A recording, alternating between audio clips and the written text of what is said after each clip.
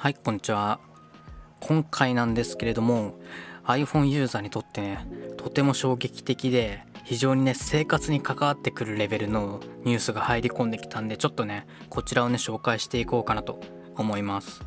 こちらのニュースが話題になったのは9月の20日の12時頃ですね。ちょっとこちらのね携帯ウォッチさんのニュースをね読み上げていこうかなと思います。米アップルは10月5日から日本や欧州などにおいてアプリストア App Store におけるアプリやアプリ内課金の価格を改定するということで日本ではね3割程度の値上げとなると書かれておりましてアプリ内の課金の値上げがなされるということでこちらねピクミンブルームにどれぐらいの影響を与えるのかっていうのを今回解説していこうかなと思います。ちなみにこちらのね話をちょっと進めていくにあたってその1個ね紹介しなくちゃいけないことがありましてアプリのそもそも課金のシステムどうなってるのって話をちょっと最初にやっていこうかなと思います。プライスティア表というものがありまして iOS のアプリ課金の料金設定はこのティア表にね載っている金額を設定するというねそういった仕組みになっております。例えばねピクミンブルームですとそう120円課金があるじゃないですか。その120課金が使われているから、まあ、この120円課金はティア1で1220円課金が使われているからこれはティア10みたいな感じでこんな風にね金額を段階的に設定しているということになりますかね。でこの話のちょっとね覚えていただきたい点においてはティアの番号をね覚えておいてください。金額よりも。今回の場合ですとそうですね1と10とかあとはね60とかですかね。ちなみにティア60がピクミンブルームの最大課金の1万2000円になってきます。まあ、この話はピクミンブルームに限った話ではなくて iOS で販売されているアプリとかねそのアプリ内の課金額においてはこのティア表にね載っている金額が必ず使われております。そしてねこのティア表がね10月5日にこちら更新されまして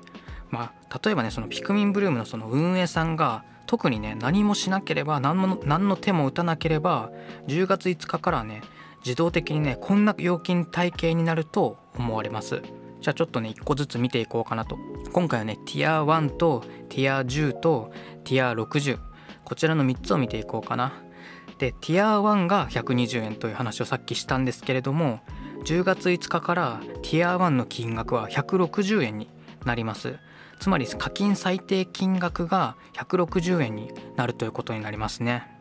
でティア10がさっき1220円と言ったんですけれどもこちらが10月5日になりますとティア10の金額が1600円になります。そしたら最後ですねティアの60が1万2000円という話を先ほどしたんですけれども価格改定後だとティア60は1万5800円に変わります。運営さんがね何もしなければ勝手にこの金額になります。つまりねの10月5日からピクミンブルームの料金体系はこんな風になると予測できます。ドドーンということで。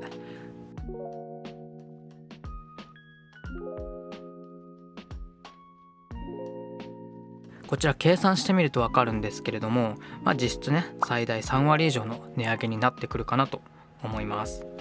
それでなぜねこちら値上げになったのかという話をねちょサクッとしますとまあアップルがねその日本でこれまでと同じ値段でね製品を販売していたとしても円安最近話題になっている円安のせいでドル換算をするとね儲けが減ってしまうからなんですよ。だからねおそらく減ってしまうとねちょっと利益が成り立たないということでまあ今回のね値上げに踏み切ったのではないかなと思われます。もちろんねこの値上げに関しては日本以外の国も影響を受けています。それでこちらの値上げに対してねなんかやれることはないかなということでちょっと対策方法をねいろいろ考えてみたんですけれどもピクミンブルームに関しては今のうちにもうコインを買っておくっていうのがね一番確実かなとは思います。10月5日以降になるとまあおそらくね値上げになるかなと思うんでその値上げがされる前に今のうちにコインをね買っておくのも全然いいんじゃないかなと思います。まあね3割値上がりするってなるとね非常に大きいんですよでそもそもピクミンブルームその上限解放ピクミンの上限解放とかエキスとか花びらの上限解放も最近値上げがあったばかりだからさらにねこの10月5日の値上げに関してはちょっとねうんだいぶね逆風となっているかそう結構ねユーザーにとってはね重い負担になってくるかなと思うんですよね個人的には。それかねその Android のスマートフォン持っている方でしたら Android で課金をする Android 経由で課金をするというね手段もあります。まあ、Apple Store と比べたら3割安い価格で、まあ、課金できるんじゃないかなと思われます。ただしねその Android Android もね iOS に追従して値上げしてくる可能性全然あるんですよ。だからねそこだけちょっとね何とも言えないんですけれどもまあすぐにねその値上げしてくるとはねちょっと考えづらいんでまあしかもねまだこの Android でもその値上げがあるというニュースはまあなかったんで、まあ、Android のねスマートフォンをお持ちの方でしたら Android にね逃げる。課金をする時だけ Android スマホを使うみたいな、まあ、そんな使い方でも全然いいんじゃないかなと思います。ただしねその値上げをしたとしてもアプリ内のアイテム量例えばねアプリ内の通貨とかがね値上げをした分だけね豪華になる可能性あるんですよ。それかねそもそもその金額のこのティア設定こちらを運営さんがね下げて値上げの影響をほぼなくすということも実はできるわけですね。この iOS の価格改定のねニュースを受けましてそのプロセカというゲームがあるんですけれどもこちらのプロセカというゲームでは10月5日以降でも値上げ前と同じくらいのティアに下げるという宣言がなされております。さらにね変更前とほぼ変わらない料金とアイテム数量にて販売するというアナウンスがなされております。販売者がねティアの設定金額のティアの設定を下げることで値上げのね影響をね極力なくすということができるわけですよ。ただしねそのティア1最低課金額ですね。最低課金額が160円なのは変わらないので、まあ、こういう場合はね例えばまプロセカの例で言うと160円だけれども値上げをした分だけアプリ内通貨の量を多くするという、まあ、そういった措置も行うことができるんですよ。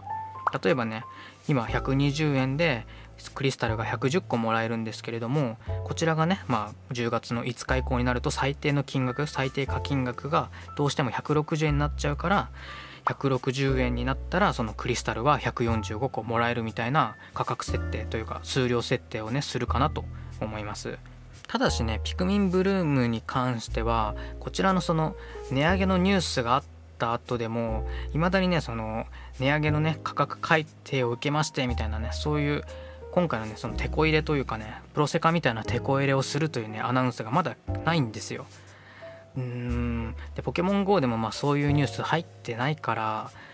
もしかしたらねそう何にも対応がしない可能性もまああるのかなって気はなんとなくしますよね。うん。まあね。ただしですよ、まあ、今後この後ですね、まあ、9月23日にま動画撮ってるんですけど、まあ、9月23日以降にこのプロセカみたいにねまあ仮にそのティアを下げるとか例えばその値上げした分だけアイテム量を増やすとか、まあ、もしかしたらそういう措置をやってくれる可能性もあるっちゃあるんでまあ追い課金というかその駆け込み課金をするんだったらなるべく10月5日に近い日数がいいんじゃないかなと思います。まあ焦ってね今焦って今9月23日とかにやばいやばいと思って課金するともしかしたらねその10月5日以降で課金額あんま変わらないみたいな事態になる可能性もあるんで、まあ、なるべく焦らずになるべく焦らずにうんそうだな X デーの10月5日の直前、まあ、10月3日とか4日あたりですかね、まあ、それぐらいで追い課金をするのがいいんじゃないかなと思いますね。10月3日とか4日になってもその運営さんがね課金に対する措置数量を上げるとか例えばねティアを下げるとか、まあ、そういうことをしますよってアナウンスがなかったら、まあ、そこで初めて課金するみたいな、まあ、そんな感じでもいいんじゃないかなとは思います。まあ、よろしければねこちらの意見ねちょっと参考にしていただけますと幸いです。それではじゃあ今回はこの辺でありがとうございました。